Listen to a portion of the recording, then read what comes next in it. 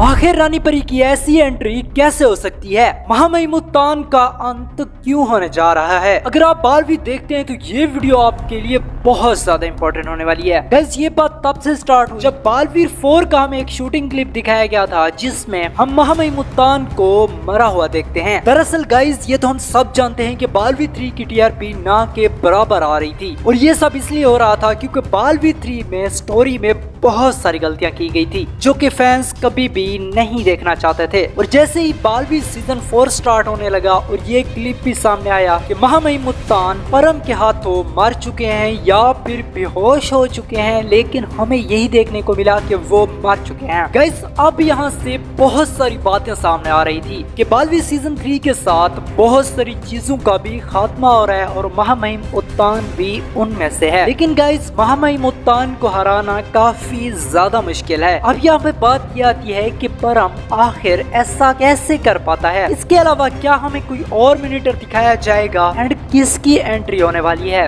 रानी परी या फिर शौर्या की। गाइज़ अगर देखा जाए तो कुछ महीने पहले हमने वोट किया था, जिसमें सबसे ज़्यादा वोट मिले थे शौर्या को। फिर रानी परी उसके बाद महामहिम उत्तान। अब इसको देख के यही लग रहा था कि महामहिम उत्तान का सच में अंत होने जा रहा है। लेकिन यहाँ पे मैं आप सबका एक बहुत बड़ा डॉट क्लियर करता चाहूँ कि अगर रानी परी या शौर्या की एंट्री होती भी है बारहवीं सीज़न फोर में, फिर भी महामहिम उत्तान को नहीं हटाया जाएगा, क्योंकि ये अपने अपने लोग के किंग हैं। जैसे कि इनके अलग अलग लोग हैं शशवान लोग, वीर लोग और रानी परी का परी लोग। तो अगर कभी मैकर्स स्टोरी को बहुत ज़्यादा यूनिक करने के लिए तीनों मिनीटर को भी दिखाते हैं तो फिर भी दिखा सकते हैं।